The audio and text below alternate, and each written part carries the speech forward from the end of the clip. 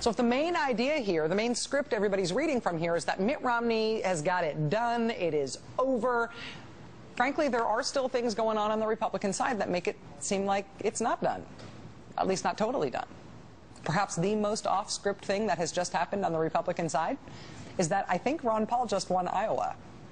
Uh, seriously, this weekend. I think Ron Paul just won Iowa. I think Ron Paul just won Iowa. I think Ron Paul just won Iowa. Hey, welcome back guys, this is Matt Larson 10, and all I have to say is, I told you so.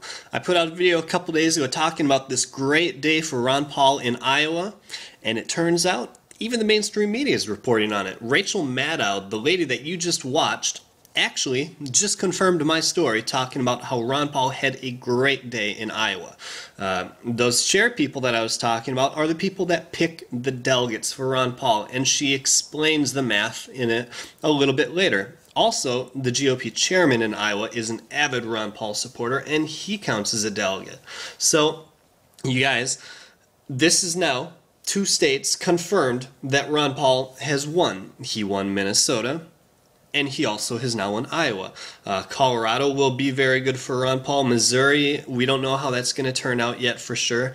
Uh, Maine is going to go for Ron Paul. I mean, Ron Paul is on his way to getting his five state wins. That's all he needs to get on uh, uh the nomination, uh, the voting to be uh, the nominee down in the convention down in Tampa. So, guys, this is great news, and I actually have video proof of them announcing it is huge. I mean, they can't deny it anymore that Ron Paul hasn't won a state. That's everyone's argument. Ron Paul can't even win a state. Ron Paul got the popular vote down in the Virgin Islands, but then it doesn't count because Romney got the most delegates. Well, now we're going to rub it in their faces, guys, and show them it is all about the delegates. The popular straw vote means nothing, guys. So make sure that you guys thumbs up this video, share with friends and family. I'm leaving you in the end with Maddow actually explaining how Ron Paul wins it all. You guys, you can't miss this. The truth comes out. Ron Paul wins. It is Matt Larson 10. Go Ron Paul.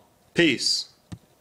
And now, now, 16 weeks after the voting happened and Mitt Romney was declared the winner, and 14 weeks after Rick Santorum was declared the winner, now it appears that Ron Paul is the winner in Iowa.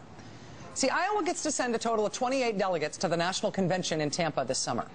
One of the delegate seats goes to the new state party chairman who replaced the guy who was the disaster who quit. The new guy is an avowed Ron Paul supporter, so that's one Ron Paul delegate. This weekend, the state nomination committee that picks 13 more of the delegates, that committee was taken over by a majority of Ron Paul supporters, which means Ron Paul has just locked up at least half of Iowa's delegates. These 13 plus 14 in the form of the state party chairman, 14 of the 28 delegates, half the delegates are his. He will not get less than half. So Ron Paul either wins Iowa or worst case scenario, he ties for first place.